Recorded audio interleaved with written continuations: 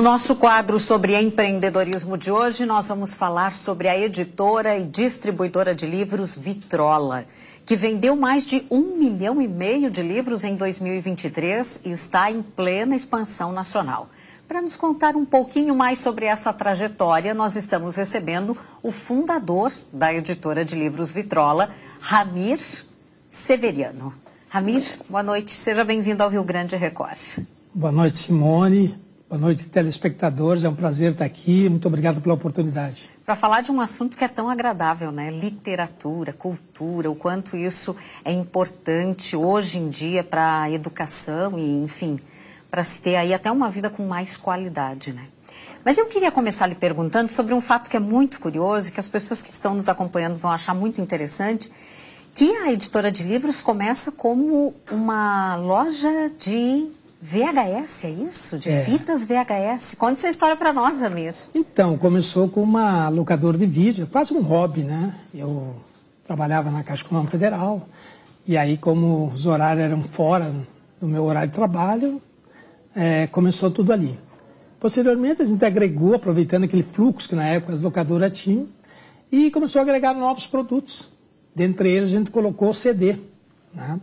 E posteriormente acabou se transformando numa distribuidora de CDs e DVDs musicais, né? Por isso o nome Vitrola. Ah, o nome vem daí, então? É, vem, vem daí esse nome. E a partir da, da, do advento da internet, né? Que o CD começou a perder força, né? E começou a vir os aplicativos.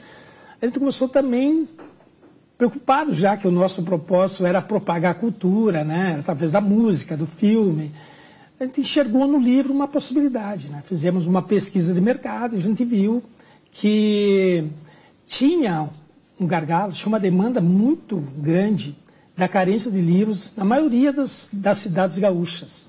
A vitrola hoje de São Paulo, é, Paraná, Rio Grande do Sul, Santa Catarina, tem mais de 3.200 pontos de vendas. É bastante. Né? Então a gente tem esse, esse acesso, né? dá o acesso às pessoas a adquirir a cultura, né? É, nos pontos mais adversos. Com títulos de novos autores, já autores consagrados também. É, Para quem não conhece, a sede da Vitrola fica em Frederico Westphalen. É. É, é, é, é, bacana até quando a gente fala sobre isso, porque Frederico Westphalen é uma cidade de um pouco mais de 40 mil habitantes, né? E nessa cidade, essa empresa, com o mesmo nome, ela foi destaque nacional de distribuição de CDs e hoje ela é um case de sucesso no Brasil. Vitrola está entre os 10 maiores exibidores de livro do Brasil hoje. Né? Propaganda cultura. Para você ter uma ideia, eu vou trazer dados assim que ele, mais ou menos, ele evidencia o nosso trabalho. O Brasil, em 2023, comercializou 55 milhões de livros. Só a Vitrola, no canal físico, é, comercializou mais de um milhão e meio de livros. O que, que é o empreendedorismo para o Ramir que traz para a gente um case de muito sucesso? É, hoje o tema, né, inclusive está acontecendo em Porto Alegre, South Summit, né, que o tema é inteligência artificial, mas muito focado na inovação. E quando a gente fala em inovação, a gente está falando, né, para a maioria das pessoas, que é tecnologia. E a tecnologia é apenas uma ferramenta importante na inovação. Né? O empreendedor, o cara que tem uma conveniência, que tem um mercado, tudo, ele pode não entender né, do formato, como é que comercializa livro, mas ele conhece números. Uhum e ele quer saber se o negócio é rentável. E a gente tem que fazer essa questão né, do livro tornar rentável. Né? E tem, tem algumas situações que eu gosto de, de falar sobre isso também, que é importante, que fala da estatística. 2023, apenas 16% dos brasileiros compraram um livro.